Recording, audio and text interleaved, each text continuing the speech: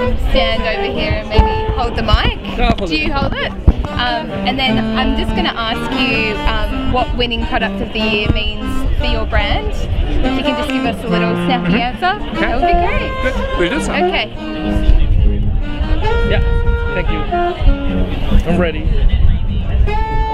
Hi, my name is uh, Stefan Mund and I'm the president of Henkel Australia. You might know Because of its major brand which is Schwarzkopf and uh, I'm very very excited to be together with my team today here because we are celebrating three times Product of the Year 2012-13. Uh, we had a clean sweep in hair cosmetics and we are quite proud of um, being here tonight and we are looking forward to a fantastic evening.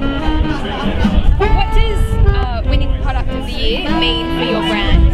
I think it's a very important um, uh, event for us and for our brand because uh, we do believe that Australians should know about uh, products which have been rated as, uh, as very high and uh, we have innovation in our DNA as a company and we are extremely proud being acknowledged as a, as a company with, with a high innovation rate. Now it's very important to make this innovation also very successful in the marketplace. So commercial success is also very important to us. And what's the best thing about winning product of the year? Uh, my team would say being on stage and receiving the award, uh, but it's also, for our, from our point of view, very important to be globally recognized as um, being down under. That uh, people in our headquarters in Germany will see that we are obviously doing a fantastic job, and uh, they are very, very happy about that. Perfect. Do you want to get anything else again? or- No, that was